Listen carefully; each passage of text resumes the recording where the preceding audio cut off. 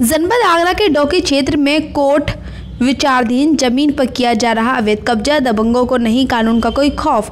डंकी की चोट पर किया जा रहा है बोर। नंद सिंह बनाम रूप सिंह ने अपील की थी दाखिल, जिसमें मानवीय अपर आयुक्त प्रथम ने उक्त वाद में यथास्थिति बनाए रखने के निर्देश दिए। आदेश होने के बावजूद भी दबंगों द्वारा विचाराधीन ज़मीन पर कब्जा किया जा रहा है। यह पूरा ही मामला थाना डॉकी क्षेत्र के आशेपुरा का है। प्रसाद। ये रहने वाले कहाँ के हैं? हाँ से पूरा? ये क्या मामला चल रहा है आपका ज़मीन से संबंधित? ये ज़मीन से मतलब ये बंटवारा डराया और तीन साल से और फतेहाबाद में जीत गया और जिनने कम से नहीं अपील कर दी है।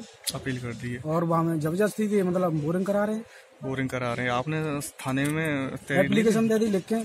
सूचना की थाने में? कितनी एप्लीकेशन दी? दे दी चार पाँच। तो उसमें क्या कार्रवाई चल रही है उसमें? वे सुनते ही नहीं है। फिर मैंने सौ नंबर पर कॉल किया है जब सुनाया नहीं जी। तो अब वो समरसेबल वहाँ पे वो लगा रहे हैं कि अब बंद कर दी लगा रहे हैं। अब आप क्या चाहते हैं? बंद मतलब बंटवारा चाहते हैं हम। अपना अपना बंटवारा हो जाए और जो जहाँ चाहता हम लगा ले। लेटेस्ट खबरों से जुड़े रहने के लिए देखें हमारा यूट्यूब चैनल।